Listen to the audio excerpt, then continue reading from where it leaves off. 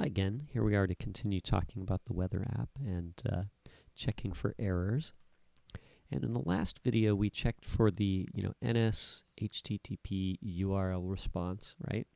And uh, we got the, the the status code from it, right? Now this is going to be the response from the server, right, for the actual request, right?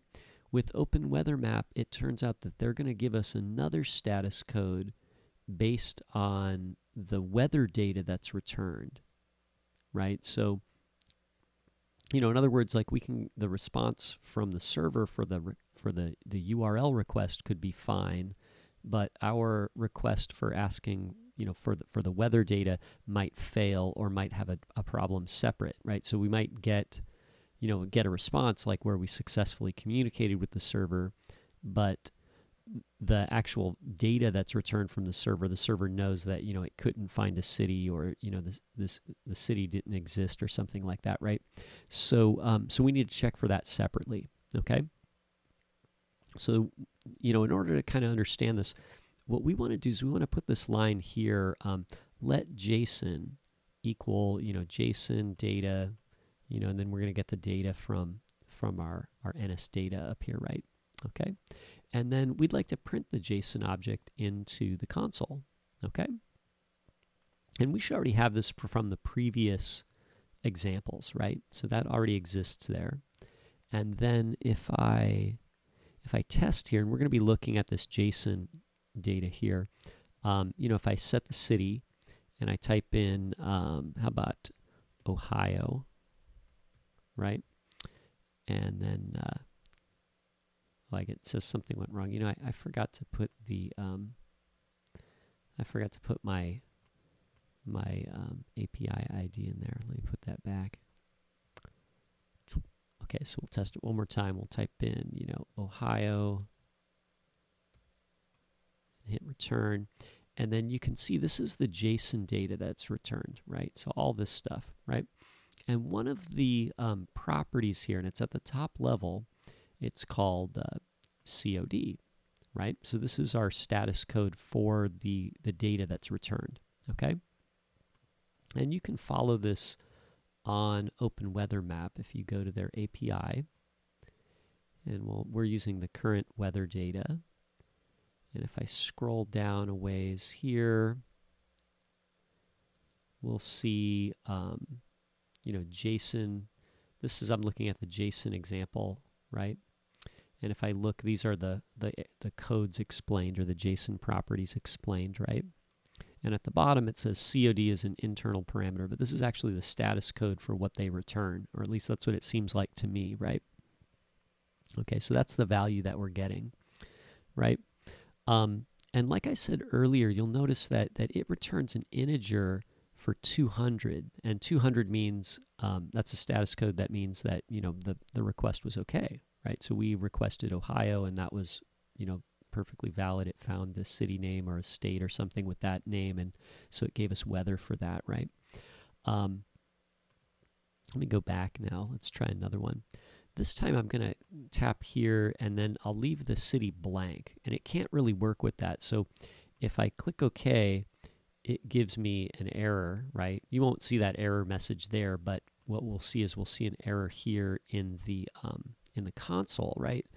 And so this time you can see that the HTTP response gave us a 200 because the transaction was perfectly valid, but the JSON object that was returned has this COD code and it's a 404. And what's important to note here is that this 404 is a string and not a integer like we had earlier, okay? Um, let me find the other one here. It's in here somewhere.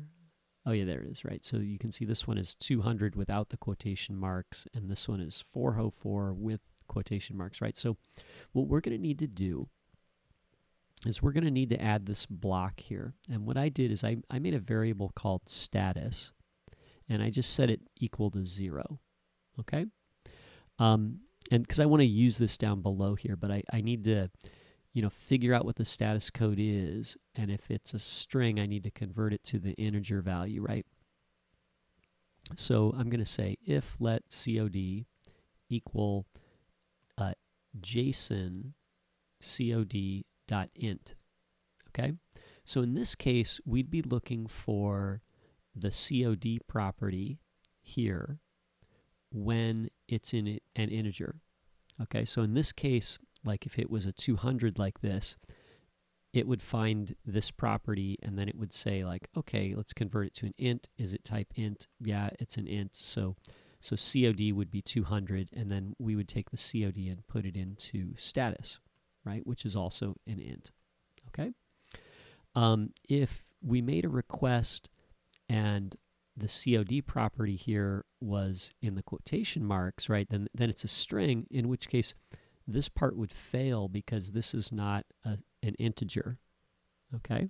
Like this is asking for an int and this is a string. So, so this fails. So, so we end up on the else statement here and we'll do a let COD, right? So if let COD JSON COD dot string. So in this case, you know, it is a string.